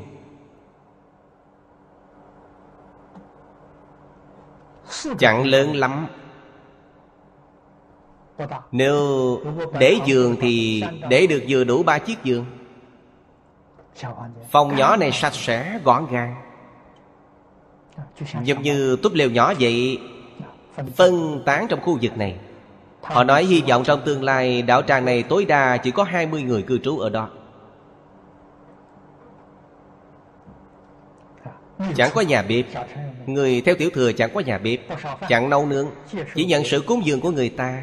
Mỗi ngày có cư sĩ đem cơm đến cúng dường cho họ. Mỗi ngày họ ăn một bữa ngọ. Coi xong tôi rất cảm động. Họ chỉ chuyên tâm để làm việc đạo. Trong thành phố họ có một đạo tràng chi nhánh, Có một giảng đường. Mỗi thứ sáu, Có hai pháp sư tới đó giảng kinh thuyết pháp. Mỗi tuần một lần Thính chúng có khoảng hơn 400 người. Đều là tín đồ của họ. Có bạn đồng tu cùng đi với chúng tôi hỏi họ, Nếu gặp lúc trời mưa, gió bão, Chẳng có người đem cơm nước tới thì làm sao? Họ nói, trước giờ chưa từng gặp qua trường hợp như vậy. Mấy năm trước bị cháy rừng. Cây cối ở đó cũng bị thiêu trụi. Nhưng gia nhà nghỉ ngơi của họ chẳng bị sao cả. Thật là chẳng thể nghĩ bàn. Do đó thật sự tu đạo Thì có thần hộ pháp hộ vệ.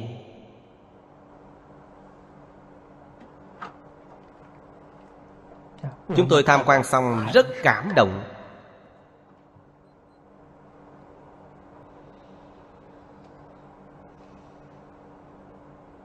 Nhìn thấy hình dáng của người thật sự tu hành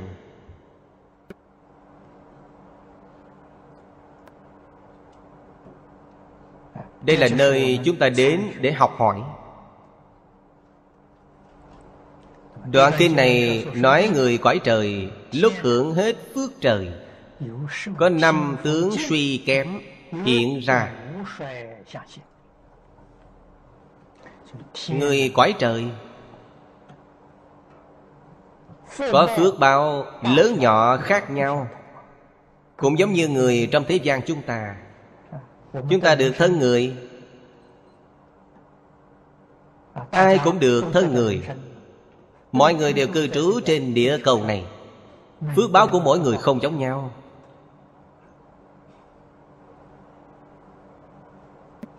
Chúng tôi đi tới Úc Châu tham quan.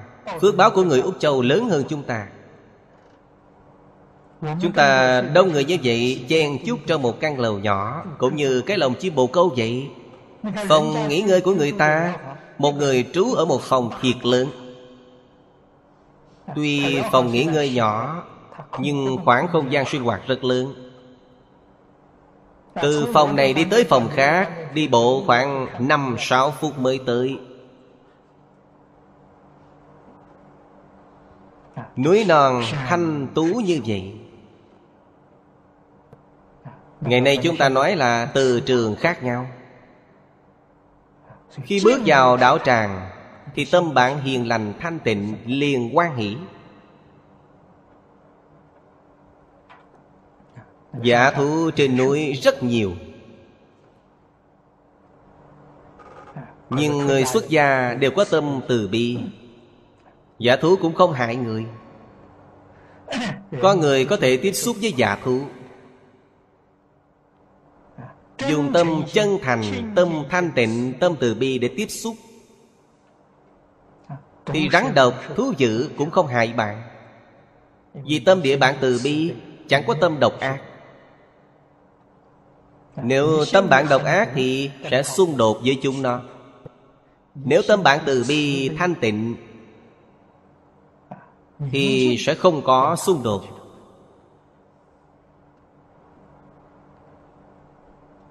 Ở Trung Quốc Cũng có rất nhiều người tu hành trong rừng sâu. Họ thường ở gần cọp Và những loài thú dữ khác.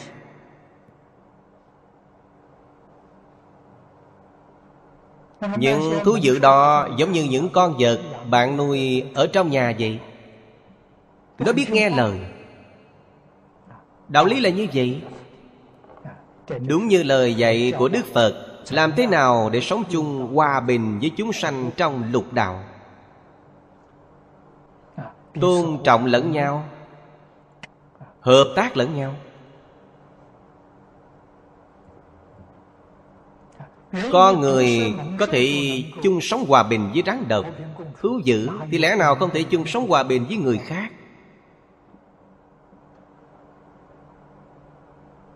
Do đó niệm niệm phải quay lại Và suy nghĩ chính mình, Đừng nghĩ tới người khác. Lỗi làm ở tại đâu? Lỗi làm chắc chắn là của mình. Người khác không có lỗi.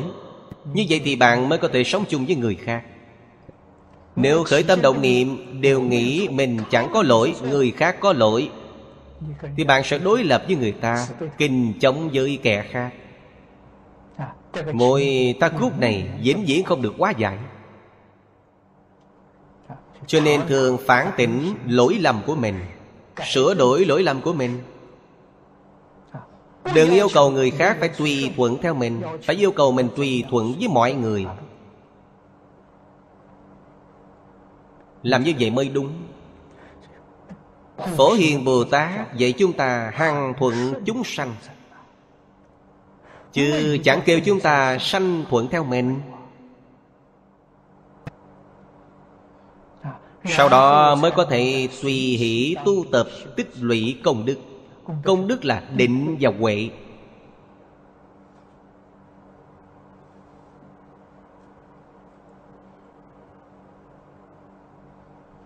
Định là nhất tâm bất loạn, Nói trong kinh Di Đà.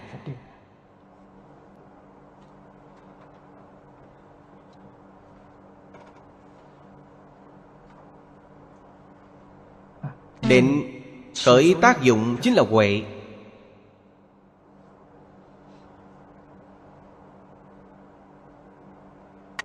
Định huệ mới có thể giải quyết vấn đề.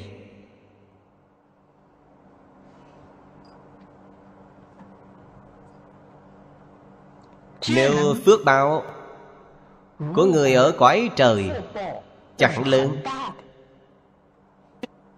Lúc làm chung những hạt giống thói quen xấu trong A Lại Gia Tức khởi lên Làm cho họ đọa ác đạo. Đây là điều Đức Phật thường nói trong kinh Lúc lâm chung Nghiệp lực mạnh nhất sẽ lôi đi. Ý niệm nào mạnh Thì người đó sẽ theo ý niệm đó đi đầu thai. Do đó lúc lâm chung ý niệm thiện mạnh thì người đó sẽ sanh thiện đạo. Ác niệm mạnh thì người đó sẽ sanh ác đạo.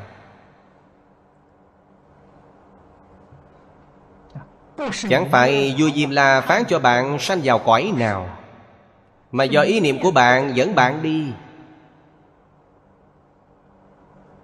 Nếu ý niệm ngu si của bạn mạnh hơn, Sẽ dẫn bạn vào cõi súc sanh. Ý niệm tham ái mạnh sẽ dẫn vào cõi ngạ quỷ. Ý niệm sân giận mạnh Sẽ dẫn vào cõi địa ngục. Do đó có thể biết, Nếu ý niệm cuối cùng của chúng ta, Ý niệm Phật mạnh, Sẽ sanh về tịnh độ. Lúc bình thường, Chúng ta phải dung bồi ý niệm này. Chứ đừng đợi tới lúc lâm chung Thì không còn kịp nữa. Lúc lâm chung, Mười niệm có thể giảng sanh là không sai. Trên mặt lý thì được, Còn trên mặt sự thì rất ít. Một ít người này đều do sức thiện căn đời trước Mạnh mẽ.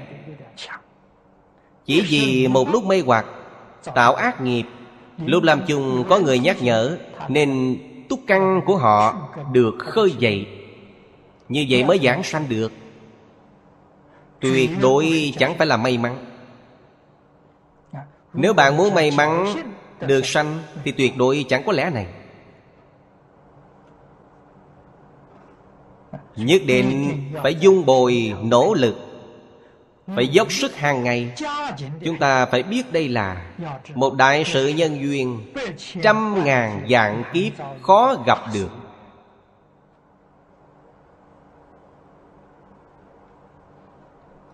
Nếu đã hiểu được đạo lý và chân tướng sự thật này rồi, Thì bạn làm sao không buông xuống được? Bạn chắc chắn sẽ buông xuống được. Nếu bạn nói bạn chưa buông xuống được, Đó là vì bạn chưa nhận thức rõ ràng Chân tướng sự thật. Chưa hiểu rõ đạo lý. Sau khi thấu triệt, Nhất định sẽ buông xuống. Tuyệt đối sẽ không tiêm nhiễm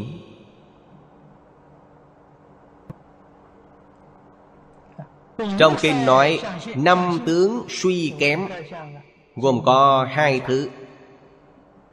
Hai thứ này là, Nhỏ có năm tướng, Lớn có năm tướng. Năm tướng suy kém nhỏ.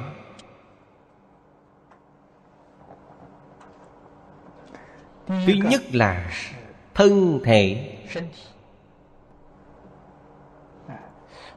Phát ra mùi hôi.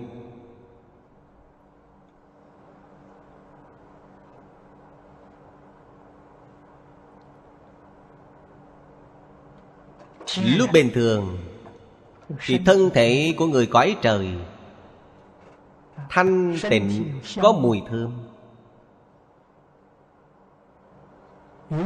Rất nhiều người đồng tu niệm Phật Hoặc trong lúc niệm Phật Hoặc tụng kinh Thậm chí trong lúc kinh hành. Thảo luận Phật Pháp Ngửi được mùi hương lạ Mùi thơm lạ này từ đâu tới? Có thể là mùi thơm lạ này Từ trước tới giờ bạn chưa hề ngửi được, Bạn chẳng diễn tả được. Mùi thơm này rất lạ, Thậm chí là một mùi thơm rất nồng. Có lúc mùi thơm này kéo dài mấy phút. Mọi người đều ngửi được. Cổ Đại Đức nói, Khi chúng ta ở đó Niệm Phật, tụng kinh, thảo luận Phật Pháp. Gặp lúc có người cõi trời đi ngang qua Họ nhìn thấy sanh tâm quan hỷ Họ dừng lại chắp tay. Lúc đó bạn ngửi được mùi thơm lạ. Những trường hợp này rất nhiều Nhiều người đã từng trải qua. Đến lúc năm tướng suy kém nhỏ hiện ra Là lúc phước báo của họ sắp hết Chẳng còn mùi thơm. Thứ hai Trên thân người cõi trời đều có hào quang. Hào quang này sẽ bị yếu đi. Thứ ba là lúc tắm rửa Thì nước dính trên thân thể. Khi chúng ta tắm xong thì phải lau cho khô. Người cõi trời không cần Nước sẽ không dính trên thân họ. Khi nước dính trên thân Thì đó là tướng suy kém Thứ tư là họ sẽ khởi lên một ý niệm tham luyến Đối với cảnh giới xung quanh. Khởi lên ý niệm nhiễm trước. Thứ năm là nhảy mắt.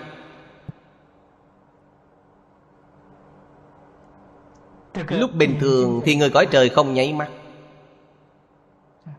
Khi có nháy mắt thì đó là tướng suy kém.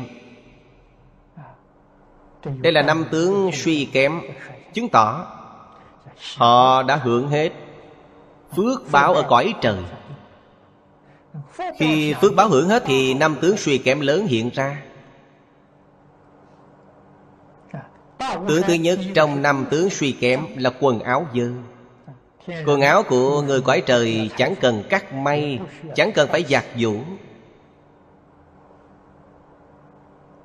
Quần áo của họ không nhiễm chất dơ, Nhưng tới lúc này thì sẽ nhiễm bụi bặm. Thứ nhì, Người cõi trời đều đội mão Trên mão có cài hoa tươi. Hoa này sẽ khô đi, Sẽ héo đi. Đây là tướng suy thoái. Lúc đó họ sẽ rất đau khổ. Thứ ba là chảy mồ hôi.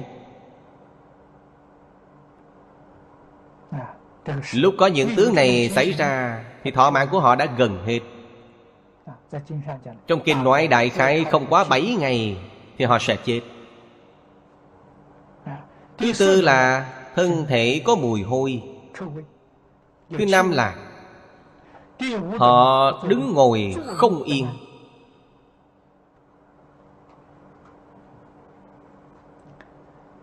Lúc năm tướng suy thoái nhỏ hiện ra Nếu họ có duyên Gặp được chư Phật Bồ Tát Gặp thiện tri thức. Nếu họ có thể sám hối Quy y.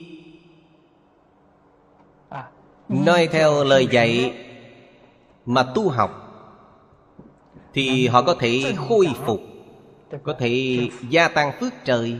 Nói cách khác Gia tăng thọ mạng của họ Năm tướng suy thoái lớn hiện ra thì không được. Nhất định sẽ bị đọa lạc.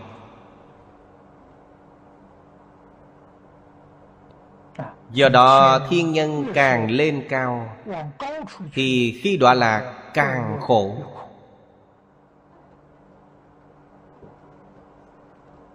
Trời dục giới, trời sắc giới. Lúc phước hưởng hết có rất nhiều người sanh tới quái người. Đổi lấy thân người. Sau khi thọ mạng của người ở cõi trời tứ thiền thiên, Trời tứ không thiên đã hết, Phân nửa đều đọa tam đồ. Hoặc đọa ác đạo, Như người ta thường nói, Trèo cao té đau. Việc này có đạo lý trong đó.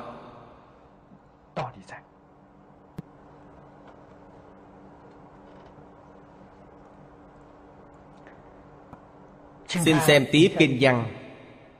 Như thị thiên nhân, Nhược nam, nhược nữ, Đương hiện tướng thời, Hoặc kiến địa tạng Bồ Tát hình tượng, Hoặc văn địa tạng Bồ Tát danh, Nhất chim nhất lễ Thị chư thiên nhân chuyển tăng thiên phước, thọ đại khoái lạc Dĩnh bất đọa tam ác đạo báo. Việc này phải qua duyên phận nếu duyên phận của người đó tốt, Gặp được Địa Tạng Bồ Tát, Lúc năm tướng suy thoái của họ đã hiện ra. Nhìn thấy hình tượng Địa Tạng Bồ Tát Hoặc nghe danh hiệu của Địa Tạng Bồ Tát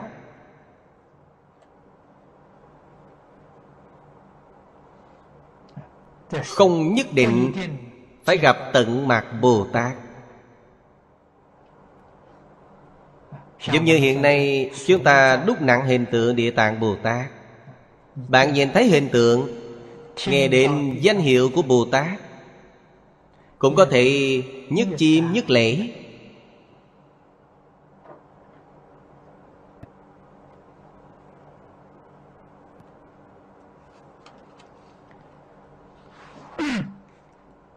Câu nhất chim, nhất lễ ở đây. Chúng ta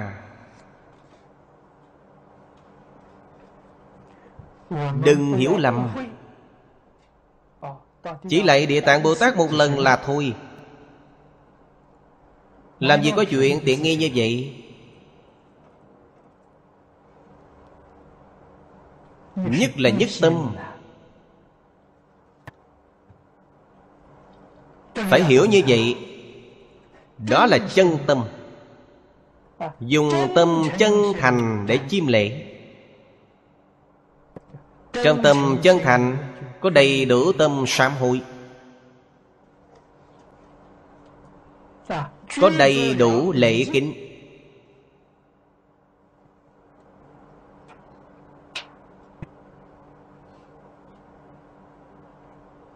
Thiên thân Bồ Tát trong giảng sanh luận có dạy.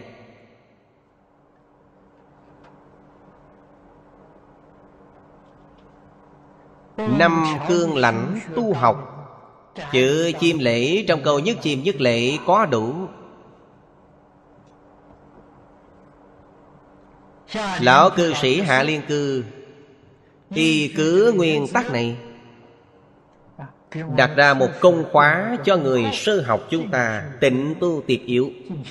Ngài y theo năm nguyên tắc. Trong giảng sanh luận của thiên thân bồ tát mà đặt ra cho chúng ta.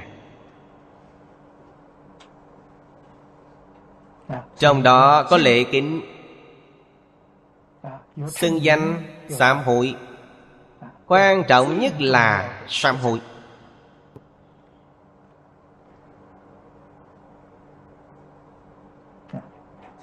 Những vị thiên nhân đó chuyển tăng thiên phước. Nghiệp chướng tiêu trừ. Phước bảo liền hiện ra. Họ có thể kéo dài thời gian. Hưởng phước ở cõi trời. Vĩnh viễn không đọa trong tam ác đạo.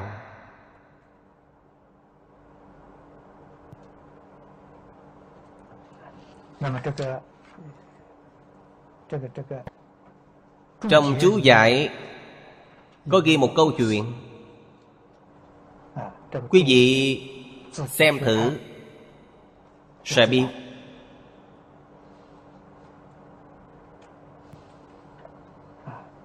từ những câu chuyện của người xưa không những chúng ta có thể sanh khởi được lòng tin mà còn có thể nhận biết được chân tướng sự thật. Biết làm sao để tu học đây là nói, chim lệ sám hối tu phước. Câu kế hà huống kiến văn bồ tát dĩ chư hương hoa y phục ẩm thực, bảo bối anh lạc bố thí cúng dường. Sở hoạch công đức, phước lợi vô lượng vô biên.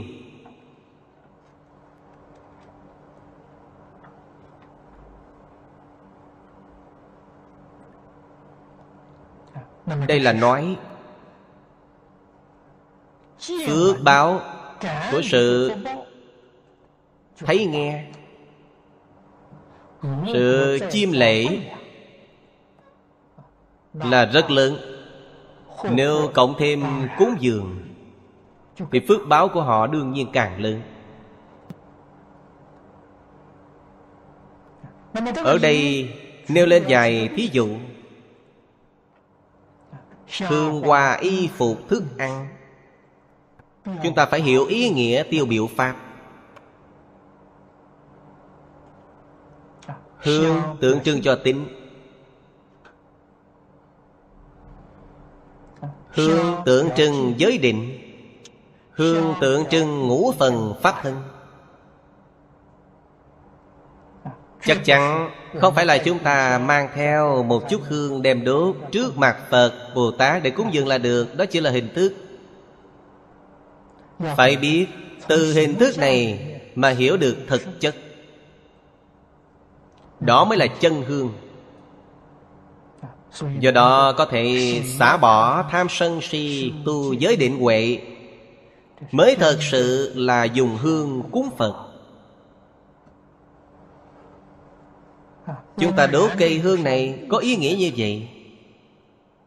Xa lìa tham sân si, Xuyên tu giới định huệ.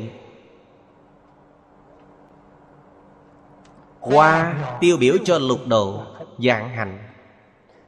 Y tiêu biểu nhẫn nhục. Chúng ta phải hiểu những ý nghĩa này.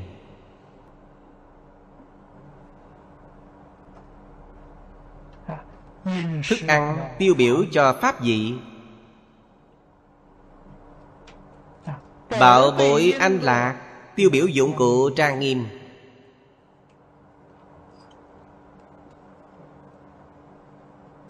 Chúng ta thật sự có thể y theo những phương pháp này để tu học. Thì phước báo, Lợi ích đạt được, Sẽ vô lượng vô biên. Vô lượng, vô biên. Trong chú dạy có nói,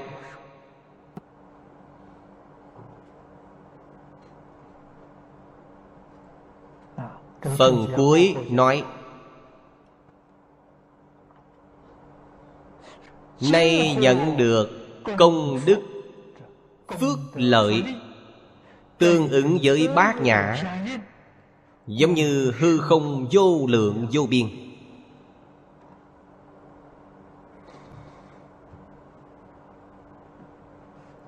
Làm sao tương ứng với bát nhã? Đó là như trong kim kim cang dạy chúng ta. Bồ Tát dùng câu Chẳng có ngã tướng, chẳng có nhân tướng Chẳng có chúng sanh tướng, chẳng có thọ giả tướng tu tích hết thảy thiện pháp.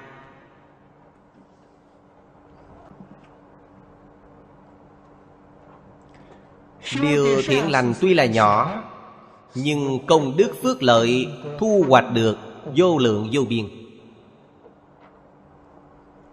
Đạo lý là như vậy. Nếu chấp tướng tu hành, Phước báo tu học được càng lớn nhưng thu hoạch được phước báo rất nhỏ.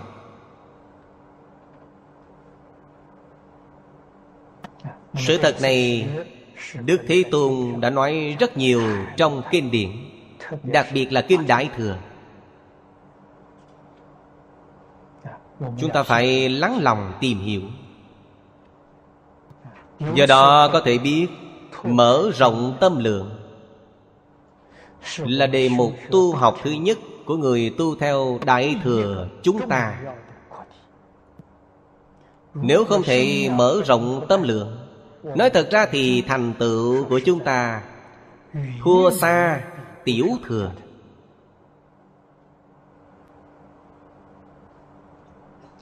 Người tiểu thừa cho dù không thể chứng quả, đây là sự thật. Ngay cả sơ quả, tiểu thừa Là tu đà hoàng cũng không dễ gì chứng được. Rất khó chứng được Nhưng Phước báo nhân thiên của họ Chắc chắn sẽ đạt được. Chúng ta coi xong Chắc chắn sẽ không hoài nghi. Họ tu thiên phước.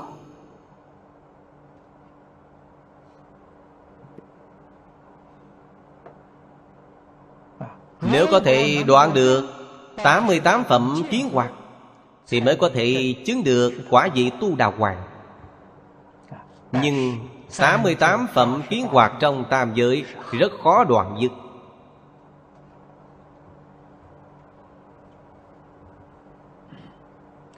Người tu học Đại Thừa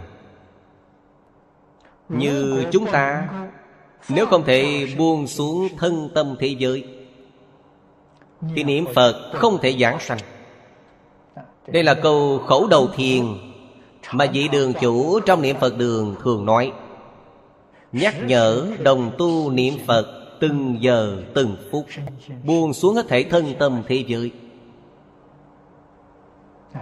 Buông xuống thân tâm thế giới Là buông xuống bốn tướng. Ta, người, chúng sanh, thọ giả. Tương ứng với bát nhã. Đến lúc đó thì thật sự là Một niệm tương ứng, một niệm Phật. Niệm niệm tương ứng, niệm niệm Phật. Bạn sẽ có thể nắm chắc sự giảng sanh. Nếu không nắm chắc giảng sanh, Thì bạn còn tiếc nuối một cái gì đó trên thế gian này. Chỉ cần có một tơ hào tiếc nuối Thì sẽ gây ra chứa ngại cho sự giảng sanh của bạn. Do đó, chúng ta nhất định phải xả sạch sanh sanh. Cái gì bạn có thì hãy bố thí, Đem lợi ích cho chúng sanh.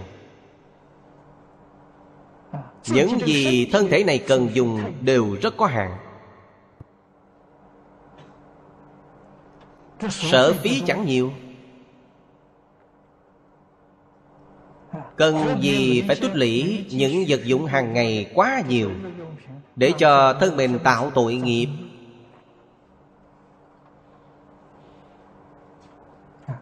Do đó nhất định phải bố thí, Phải biết chia sẻ phước báo của mình với hết thảy chúng sanh. Vậy thì phước báo của bạn sẽ lớn. Đó là phước báo thật sự.